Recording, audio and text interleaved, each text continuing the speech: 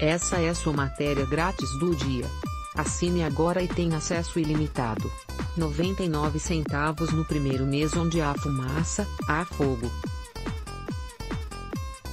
Mas às vezes pode ser que parte da imprensa veja uma enorme fumaceira onde há apenas um fósforo riscado. Creio que a fritura de Paulo Guedes esta semana tenha sido um desses casos. Que a tensão foi real não há dúvidas. O presidente Bolsonaro desautorizou seu ministro em público, rejeitando o projeto do Renda Brasil por considerar que é inadequado tirar dos pobres para dar aos paupérrimos. Os mercados ficaram tensos, o dólar subiu e a bolsa caiu.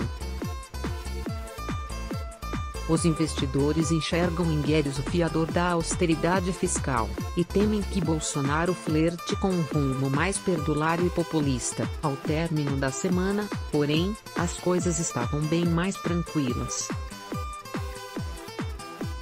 Na live quinta o presidente já tinha alinhado mais seu discurso ao do seu posto Ipiranga, reforçando a ideia de que é preciso respeitar os limites orçamentários e que o melhor programa social é o emprego, alertando que auxílio não pode ser aposentadoria. Bolsonaro reconheceu que o valor pode não ser muito para quem recebe, mas que é muito para quem paga, e rechaçou a narrativa de que é nosso dinheiro, lembrando que se trata de endividamento público.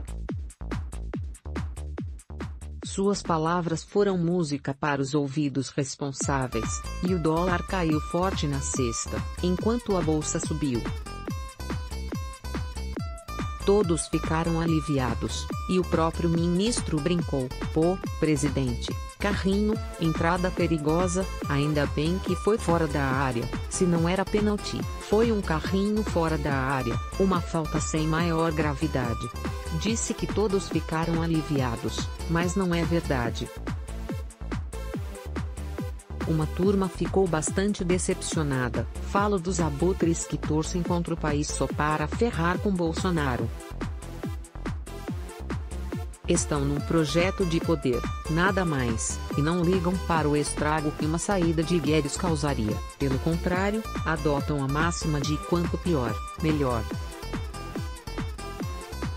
Foram esses que exageraram de propósito na dimensão da fritura, com alguns chegando a afirmar, de forma leviana, que já havia até carta de demissão assinada.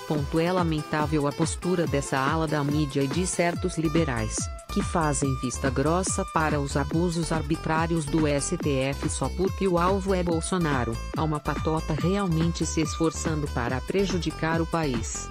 Mas Guedes é casca grossa, patriota e ciente de sua missão. E Bolsonaro, pelo visto, entende isso e tem juízo. O Brasil precisa voltar aos trilhos das reformas, e a tensão entre presidente e ministro é natural até certo ponto. É o conflito da política com a economia. A diferença é que Bolsonaro e Guedes são mais espontâneos e transparentes, e isso causa desconforto em quem se acostumou com o jogo de cena escondendo tensão de bastidores. Basta encontrar um ponto de equilíbrio e tudo ficará bem. Para a tristeza dos abutres, claro. Artigo originalmente publicado pelo Neodímio mais Letes Blocades. Ui,